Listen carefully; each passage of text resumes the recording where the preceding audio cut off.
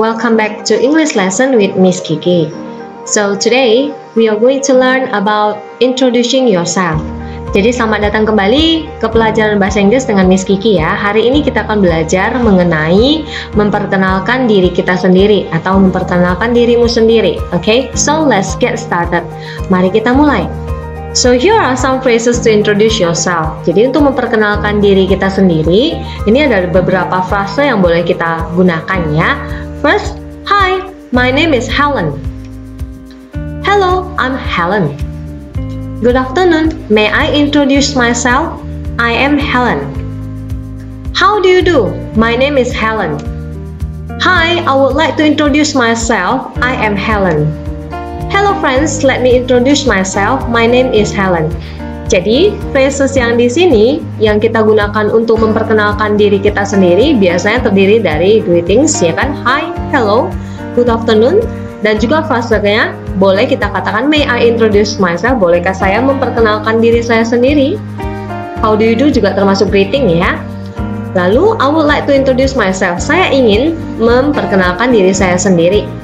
Halo teman-teman, let me introduce myself. Persilakan saya uh, perkenalkan diri saya sendiri. Setelah itu kita boleh ungkapkan nama kita siapa. I'm Helen. My name is Helen. Sama ya penggunaannya. To respond to introductions, okay, we can say nice to meet you.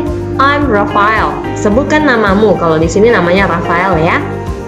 Senang berjumpa denganmu. Nama saya Rafael. Hello, pleased to meet you. I'm Rafael. Morning, nice to see you. My name is Raphael. Good to know you. I'm Raphael. How do you do? I'm Raphael. Ini adalah contoh video dari memperkenalkan dirimu sendiri. Hi, I would like to introduce myself. My name is Natasha Ivana Wijaya. You can call me Nat. I'm 11 years old. I was born in Batam, 28 November 2007. I study at Methodist Junior High School. I'm in 7th grade. My favorite colors are pink, blue, and green. My hobbies are drawing and swimming. I live at Jalan Tengku Farudin, Complex CPL number 64. My favorite foods are nasi padang and fish. At the moment, I haven't thought about my future dream. Here is example of introducing yourself in written style. Ya, ini dalam bentuk tertulis ya. Contohnya phrase to introduce yourself-nya, Hi friends, I would like to introduce myself. Full name-nya, my name is Rafael Wijaya misalnya. Nickname itu nama panggilan ya. Age itu umur. I am 12 years old. Kalau misalnya umurnya 12 tahun kita katakan 12 ya. Place or date of birth-nya You can say I was born in Medan 30th July 2008. Misalnya saya uh, dilahirkan di Medan 13 Juli 2008. Lalu kelasnya I'm in 7B class, ini kelasmu. Lalu school itu artinya kamu bersekolah di mana? I study at Methodist Junior High School in Lubuk Pakam atau SMP Methodist Lubuk Pakam ya. Or you can say I attend Methodist Junior High School in Lubuk Pakam. Next is address. Address ini artinya alamat. I live at Jalan Melati number 6 Lubuk Pakam. Hobby or interest artinya kesukaan kita ya, apa yang menjadi ketertarikan kita atau hobi kita. Contohnya di sini si Rafael bilang saya suka berenang I like swimming. Kalau yang nomor 10 ini kan favorite subject ya. Di sini si Rafa bilang my favorite subject is English. Mata pelajaran favorit saya adalah bahasa Inggris. Nah sekarang misalkan e, memberikan gambaran kira-kira gimana kalau kita mau membuat perkenalan diri kita sendiri dalam bentuk tulisan ya. Okay, take a look at this one Phrase to introduce yourself-nya, tadi di depan sudah banyak ya phrase to introduce yourself-nya. Jadi kalian boleh pilih salah satu, boleh Hi friends, I would like to introduce myself. Good afternoon, ya, introduce myself. Tinggal pilih salah satu ya. How do you do? Hello friends, let me introduce myself. Kita sambung dengan nama lengkap kita. Contohnya, my name is Rafael Wijaya. Di sini ada yang miss buat menjadi warna merah ya. My name dia sambungannya harus kawannya dengan is ya, Rafael Wijaya. Atau boleh kita bilang I am Rafael Wijaya. Ketika subjeknya berubah, maka kita gantilah verb to be-nya. Ini di sini I, di sini menjadi am. I am Rafael Wijaya. Nah, setelah full name, boleh kita lanjut dengan nickname. Nickname itu adalah nama panggilan. Oke. Okay? You can call me Rafa. Kamu bisa memanggil saya Rafa, nama panggilan Rafael ya. Oke, okay? or you can say my nickname is Rafa. Oke, okay, nama panggilan saya adalah Rafa. Lagi-lagi di sini Miss buat ya, my nickname ini harus pakai is ya. My nickname is Rafa. Next is age. Yang keempat adalah umur kita atau usia. I am 12 years old. Saya berumur 12 tahun. Kalau kamu berumur 12 tahun ya. I am 13 years old. Kalau kamu berumur 13 tahun, I am 11 years old, 11 tahun. Selanjutnya, place or date of birth. Place atau date of birth ini berarti tempat dan tanggal lahirmu. Contohnya, I was born in Medan 30 July 2008. Ini tadi punya si Rafa ya. Ini adalah tanggal lahir, bulannya, dan juga tahun lahirnya. Oke, okay. perhatikan di sini juga ada kelas ya. I am in 7B class. Oke, okay, saya berada di kelas 7B. Kalau kamu kelas 7A, silahkan kamu tuliskan 7A. Next, school. I study at Methodist Junior High School in Lubuk Pakam. Oke, okay. atau uh, eh, SMP Methodist Lubuk Pakam ya. Address, address ini alamat kita ya. Contohnya I live at Jalan Melati number 6 Lubuk Pakam ini yang punya si Rafael tadi ya. Saya tinggal di Jalan Melati nomor 6 Lubuk Pakam. Nah, perhatikan beberapa di sini ada menggunakan garis bawah dan juga ada yang mislainkan warnanya ya. Ini ada in, ada at, oke. Okay. Nah, ini adalah semuanya adalah preposition. Ya, di dalam bahasa Inggris ada yang namanya preposition. Preposisi biasa menunjukkan suatu tempat ya, at, in, on, atau keberadaan benda. Ya, yang kita bahas di sini hanya tiga dan hanya berhubungan dengan introducing yourself ini saja ya. Oke, okay, take a look at at di sini. Contohnya, I live at Jalan Melati number 6 Lubuk Pakam. Berarti at di sini digunakan untuk alamat lengkap. Kalau kita mau katakan alamat lengkap kita, ini di sini ya, Jalan Melati number 6 Lubuk Pakam, ini alamat lengkap, kita harus pakai at. Oke. Okay. Next, I study at Methodist Junior High School.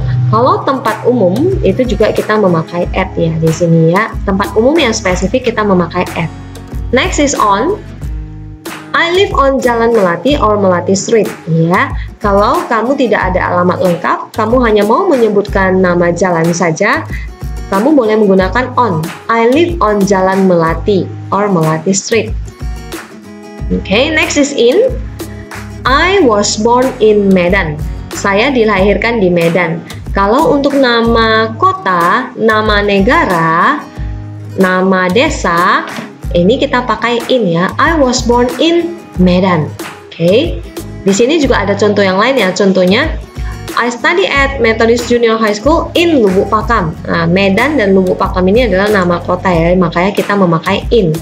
Uh, ada satu lagi contohnya yang di sini I am in 7B class ya. Di dalam kelas 7B, maka kita memakai in.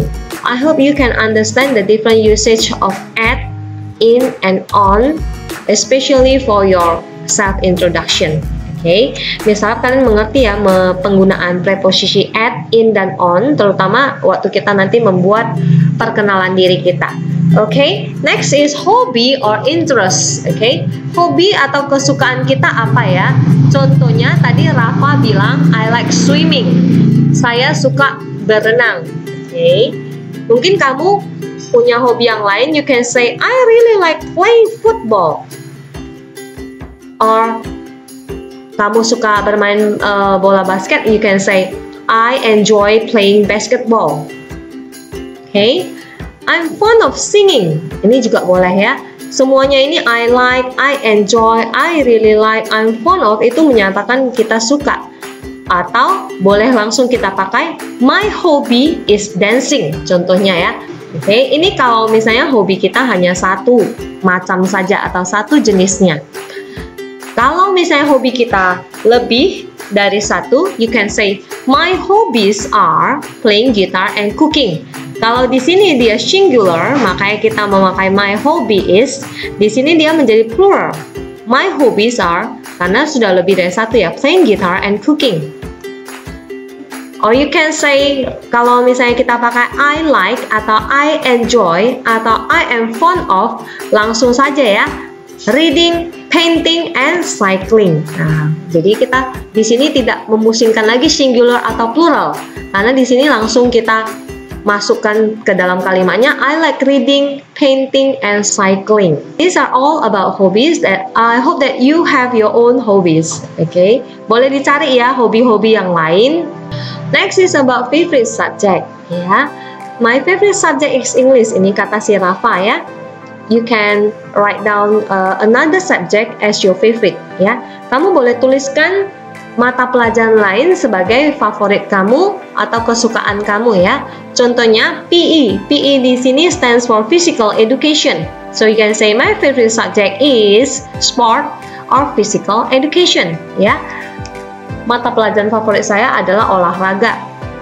Next, you can say my favorite subjects are kalau kamu punya mata pelajaran lebih dari satu yang kamu sukai. Contohnya ya. Di sini my favorite subjects are maths and science ya, matematika dan IPA. Ingat bedanya ya, kalau singular my favorite subject kita tidak tambah s ini dengan is kawannya. Sedangkan kalau plurals itu dengan r kawannya. Pelajaran favorit yang lain silahkan kamu tuliskan. Di sini Miss sudah sediakan beberapa contoh pelajaran lain ya, religion, agama, Citizenship di sini adalah PPKN. Indonesian itu kita kalau belajar bahasa Indonesia, pelajaran bahasa Indonesia. Art and culture ini seni budaya yang ngajarin Ibu Marni ya kan. Social science itu IPS yang ngajarin Ibu Nora. Art and craft ini prakarya atau keterampilan yang ngajarin ini Pak Doa ya. Lalu ada Mandarin, Mandarin. So I hope you can choose one of your uh, favorite subject. Okay. ini semua Miss jelaskan dulu because we are going to do your assignment karena kita akan mengerjakan tugas kita hari ini. I would like you to do this in your exercise book. This is the exercise for September 19. You have to write down the topic unit 2 exercise 1. Write down a paragraph to introduce yourself. Tulislah sebuah paragraf untuk memperkenalkan dirimu sendiri. Contohnya yang mana? Yang dari tadi sudah kita bahas. Ini contohnya ya. Ini contohnya si Rafa. Kalian boleh pakai ini semua. Tinggal ganti nama kalian sendiri atau kesukaan kalian. Atau kalian mau cari sendiri phrase yang lain. Dan seperti tadi yang Miss bilang, favorite subject ini boleh kita ganti menjadi favorite color. Oke, okay? boleh favorite uh, food, maybe favorite drink, favorite singer, favorite movie, ini terserah kalian ya. Suit yourself ya, yang mana yang lebih uh, sesuai untuk kalian silahkan. So remember, write this assignment in your exercise book. Write down the topic Unit 2 Exercise 1, date 19 September 2020 finish it well and submit it to Google Classroom on time. Thank you students. Oke, okay, ingat ya, setiap kita buat latihan, tulislah topik di atasnya. Sekarang kita sudah menuju ke unit 2, exercise 1 ya. Jadi disilakan ditulis topiknya ini. Today English proverb is actions speak louder than words.